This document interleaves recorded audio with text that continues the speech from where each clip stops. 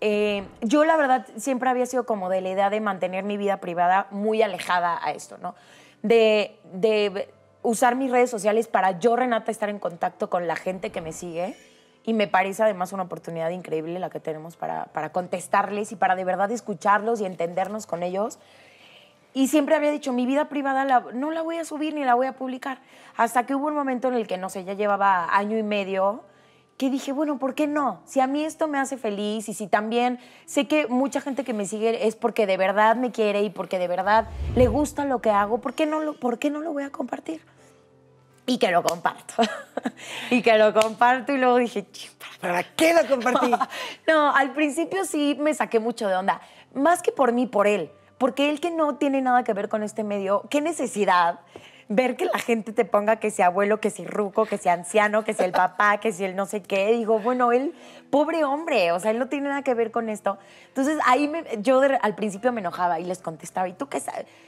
Y después hubo un momento en el que dije, a ver, Renata, respira profundo, relájate. Una, la mayoría es la verdad gente que no te conoce. Es gente que te ve en la tele, que ve tus fotos, que, que no te conoce, ni que lo conoce a él. Entonces es muy fácil agarrar un teléfono y esconderte atrás de un perfil que a veces ni siquiera tiene foto y Sí, un criticar. huevito, un huevito. Un huevito, ¿no? Y criticar y mandar de repente mala energía. Es muy fácil. Entonces dije, toma las cosas de quien viene. Y terminaste y volviste, ¿no? Con tu novio. Terminé, corté, eh, corté como, yo juré que ya no regresaba, corté como mes y medio y regresé. Yo creo que sí, sí puede llegar a pasar fácilmente que se enamoren de, de su Protagonista. De su protagonista. O no nada más de su protagonista, con alguien con quien estén en el elenco, porque la convivencia es demasiada. Entonces yo creo que si no tienes una pareja bien sólida, puede pasar que te, o que te confundas, si me explico. Si estás en un, en un momento débil con tu pareja, a lo mejor, en el que, pues en todas las relaciones hay altas y bajas, ¿no? Y, este, y de repente llegas a un proyecto en el que convives ocho meses, todos los días con una persona, que además, pues normalmente cuando te ponen con una pareja es por- porque hay química, ¿no? Normalmente cuando te ponen, pues, hay química. Entonces, que te pongan con una, una persona con la que tienes química, a convivir todo el tiempo, y normalmente pues son guapos o son guapas, o si me explico, son demasiadas cosas que claro que es muy fácil que, que- que te puedas confundir. ¿Tú que- te has confundido? Eh, sí. sí. Por eso te quiero, Renata, por honesta. Pues sí, sí, sí. Eh, yo estaba soltera. Este, él también estaba soltero.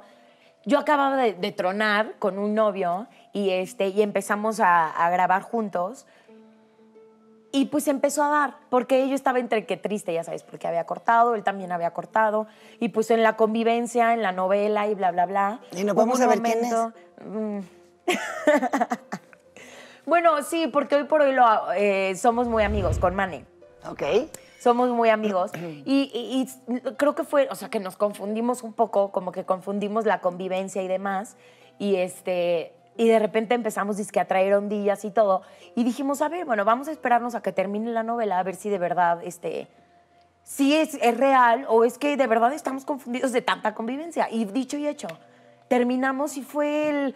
No era, o sea, no era, era más el que nos llevábamos súper bien, que convivimos tanto, este, que es súper divertido, que nos la pasamos bien juntos, que hacíamos muchos planes. Y cuando terminamos dijimos, no, hombre, te amo y te adoro como amigo, pero pues no, no, nada que No, ver no era. no era lo que pensábamos que era y punto. Y hoy por hoy me llevo increíble con él y este y lo quiero mucho y demás, pero sí ahí es cuando te das cuenta que te puedes llegar a confundir, ¿no? No es que precisamente a lo mejor si no hubiéramos estado en proyecto nunca hubiera surgido como esta atrac- atracción.